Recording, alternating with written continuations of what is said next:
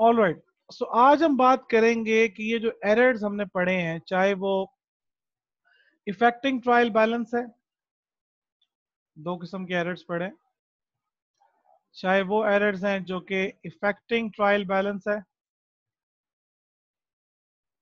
या वो एरर्स हैं जो कि नॉट इफेक्टिंग ट्रायल बैलेंस है। इन दोनों एरर्स को हमें रेक्टिफाई तो करना पड़ेगा। यानी इनको ठीक करना पड़ेगा। कल अबूजर ने सवाल किया था कि सर इनको ठीक कैसे करेंगे? तो रेक्टिफिकेशन कैसे करेंगे देखिए रेक्टिफिकेशन के बहुत सारे तरीके हो सकते हैं। मैं आपको एक मेथडोलॉजी बताऊँगा which I think is the easiest one बाकी अगर आपको लगता है कि कोई और इससे इजी मेथडोलॉजी है तो you can use that as well but I will recommend कि आप इसको फॉलो करें। देखें सबसे पहला काम आपने ये करना है कि पेपर के अंदर आपको ट्रांजैक्शंस बताई हुई होगी। और ये बताया हुआ होगा कि ये ट्रांजैक्शन थी और ये इन्होंने काम परफॉर्म किया है। यानी ट्रांजैक्शन ये थी और इन्होंने उसकी ये एंट्री पास कर दी है, ये ट्रीटमेंट कर ली तो सबसे पहला काम आपने करना है फ़र्स्ट स्टेप पे। आपने करेक्ट एंट्री लिखनी है। करेक्ट एंट्री का मतलब ये है कि जो एंट्री होनी चाहिए थी। सपोज़ करते हैं, मैंने आपको एग्जांपल दी थी कि आपने डेबिट करना था रेंट एक्सपेंस ठीक है डॉलर हंड्रेड से। और क्रेडिट करना था कैश ये होनी चाहिए थी करेक्ट एंट्री इसके बजाय उन्होंने क्या किया कि रेंट की बजाय स्टेशनरी एक्सपेंस को डेबिट कर दिया।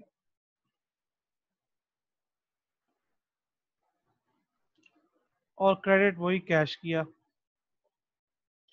सो so, ये है, कौन सी एंट्री ये है रॉन्ग एंट्री सो सबसे पहले हमने लिखी जनाब करेक्ट एंट्री फिर हमने लिखना है जनाब रॉन्ग एंट्री जो कि उन्होंने पास की है। अब तीसरे स्टेप पे हमने करनी है रेक्टिफिकेशन रेक्टिफिकेशन में आप देखें कि कॉमन एंट्री कौन सी है?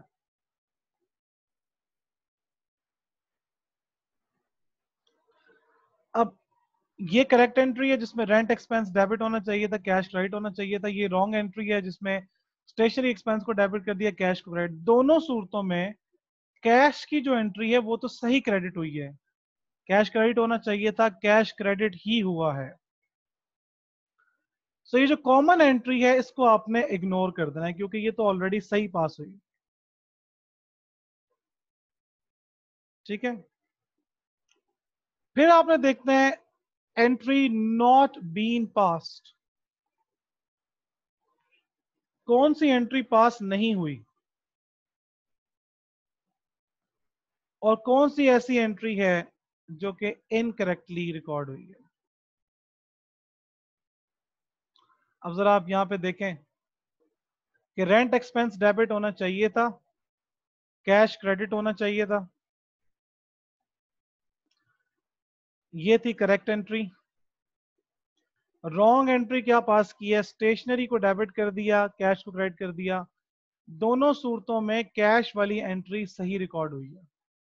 इसको नहीं छेड़ना, क्योंकि ये तो सही रिकॉर्ड हो गया। कौन सी एंट्री पास नहीं हुई? डेबिट रेंट एक्सपेंस नहीं हुआ। रेंट एक्सपेंस को डेबिट कर दो। और कौन सी एंट्री गलत पास हुई है? स्टेशनरी एक्सपेंस गलती से डेबिट हो गया। है अब इसको खत्म करने के लिए हम क्या कर देंगे? क्रेडिट कर देंगे। तो ये हो गई आपकी रेक्टिफिकेशन दोबारा सुने।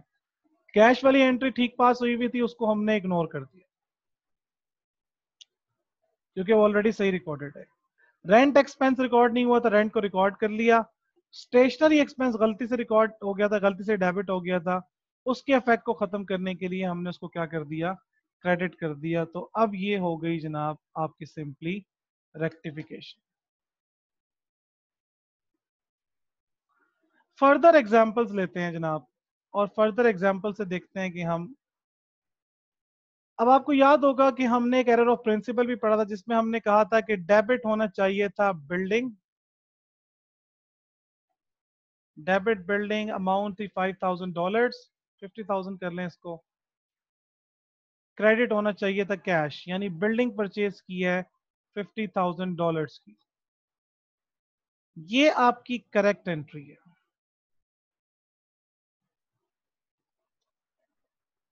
गलती से आपने क्या किया? एसेट को एक्सपेंस ट्रीट कर दिया। और आपने इसको ट्रीट कर दिया electricity expense debit fifty thousand से, और कैश को कर दिया क्रेडिट फिफ्टी थाउज़ेंड ये आपने कर दी जनाब रॉन्ग एंट्री पास अब तीसरे नंबर पे हमने करनी है जनाब रेक्टिफिकेशन और रेक्टिफिकेशन का सूल मैंने क्या बताया? देखिए, पहले कॉमन एंट्री देखें। ये दोनों केसेस में जो कैश वाली एंट्री है, ये ठीक पास हुई हुई है। इसका मतलब है कि इसको नहीं छेड़ना। ये सही पास हुई है, इसको इग्नोर करें। कौन सी एंट्री पास नहीं हुई? बिल्डिंग डेबिट नहीं हुई। बिल्डिंग को डेबिट कर दें।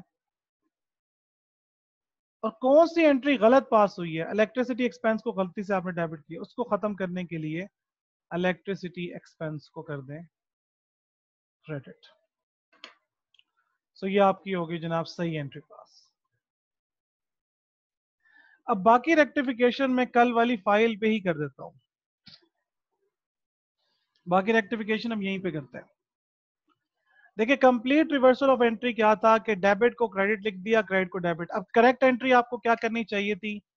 करेक्ट एंट्री आपको पास करनी चाहिए थी डेबिट ड्रॉइंग्स क्रेडिट कैश गलती से आपने क्या एंट्री पास कर दी? आपने डेबिट कर दिया कैश को क्रेडिट कर दिया ड्रॉइंग को, यानी ऑपोजिट एंट्री पास कर अब मैं इस एंट्री को ठीक करना चाहता हूँ। कैसे ठीक करूँगा?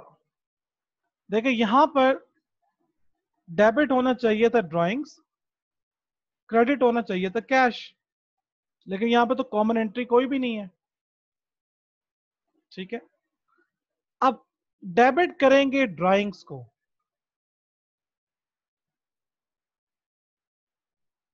और क्रेडिट करेंगे कैश को।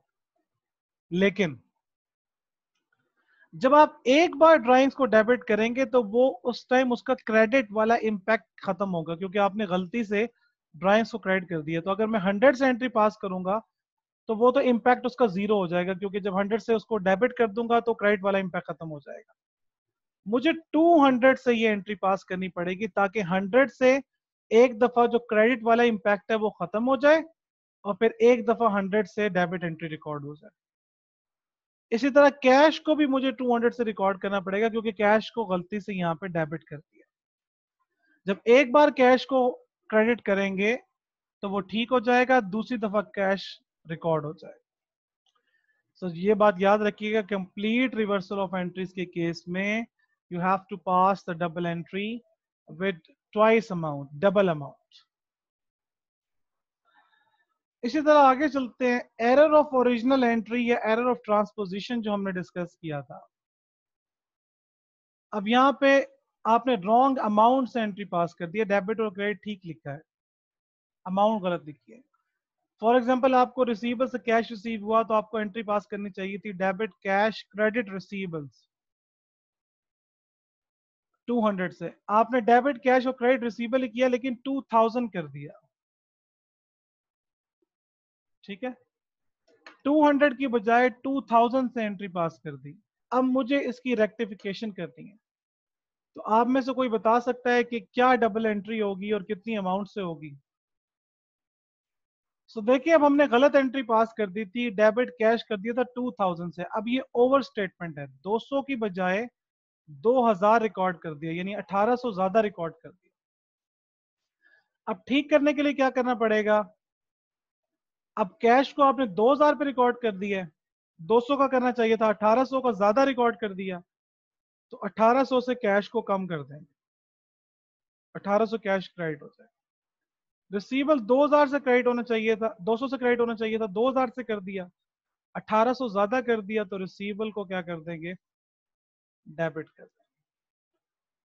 सो so, ये आपकी सिंपल हो गई डबल एंट्री रेक्टिफिकेशन ये बात याद रखिएगा। इसका आसान तरीका मैं आपको बताऊँ।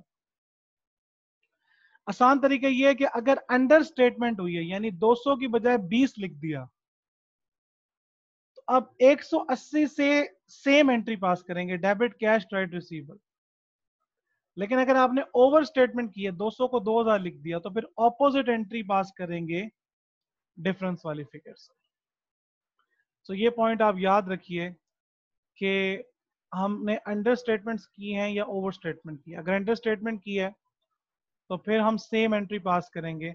अगर हमने ओवर स्टेटमेंट की है तो फिर हम ऑपोजिट एंट्री पास करेंगे। फिर मैंने आपको एरर ऑफ़ ट्रांसपोजिशन बताया था, जिसमें आप फिगर्स का सीक्वेंस चेंज कर देते हैं। आपको एंट्री करनी चाहिए थी डेबिट कैश क्रेडिट कैपिटल यानी ये कैपिटल इंट्रोड्यूस की एंट्री है। गलती से आपने क्या कर दिया? डेबिट कर दिया कैश को 556 से और कैपिटल को क्रेडिट कर दिया 556 से। अब सबसे पहले तो आप ये देखें कि ये अंडर स्टेटमेंट है, या ओवर स्टेटमेंट है। और फिर इसकी करेक्ट एंट्री क्या होनी चाहिए? यानी रेक्टिफिकेशन की एंट्री बताएँ मुझे। So this is an understatement जब भी अंडर स्टेटमेंट होती है तो आप सेम एंट्री पास करेंगे। Debit cash credit capital. कितनी अमाउंट रिकॉर्ड नहीं हुई? Nine so debit cash nine से क्रेडिट कैपिटल नाइन से, क्योंकि ये अंडर स्टेटमेंट थी।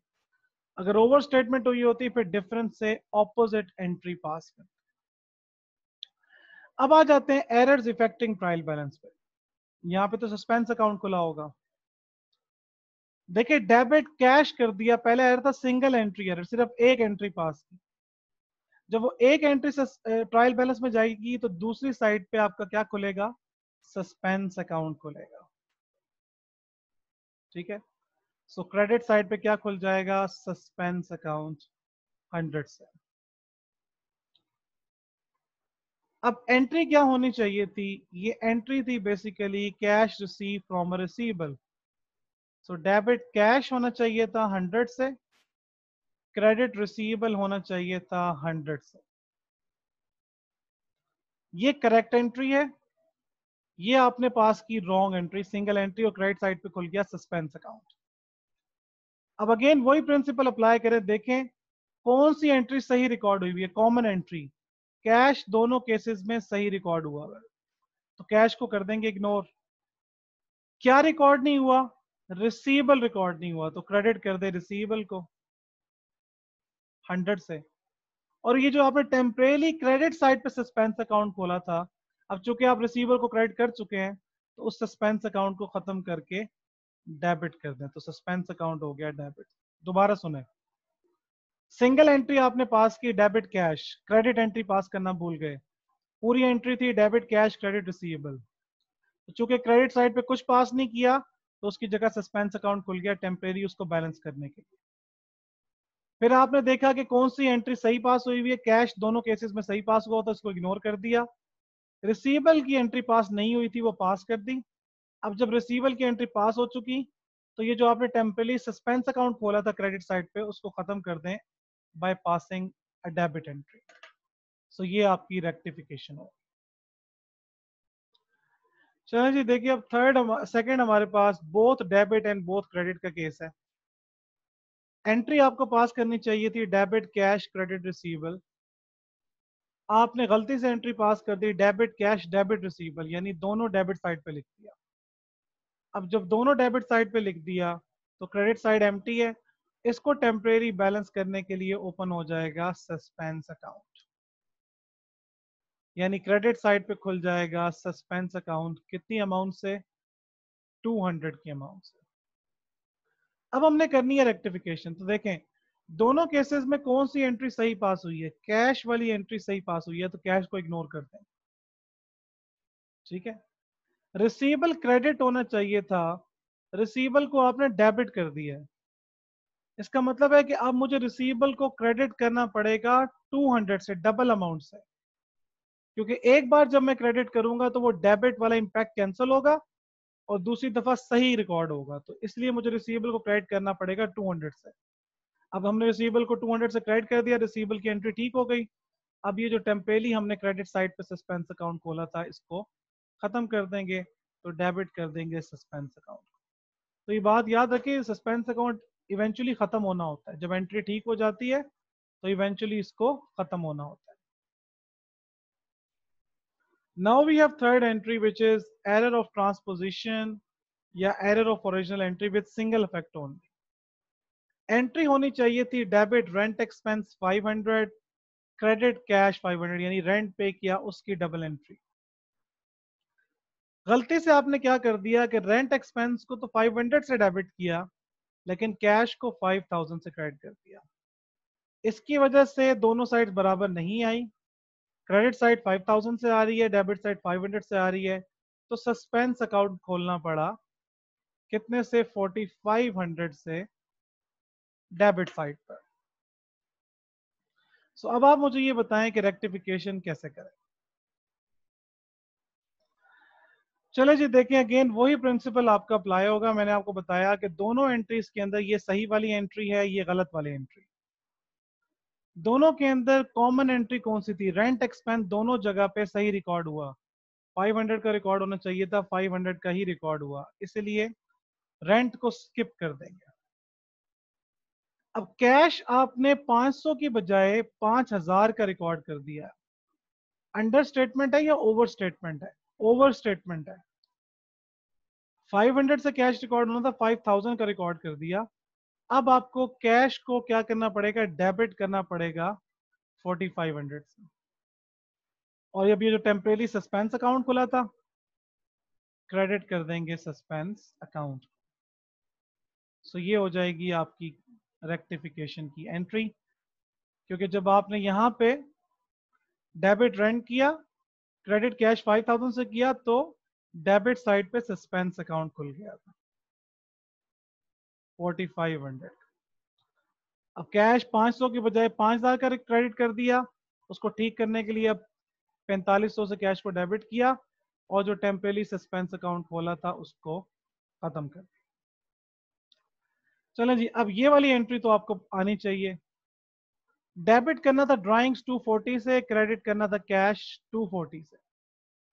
ड्राइंग्स को आपने 420 से डेबिट कर दिया और कैश को क्रेडिट कर दिया 240 से, ये ये सही एंट्री है और ये गलत एंट्री है। अब आप मुझे रेक्टिफिकेशन की एंट्री जल्दी से बता दें।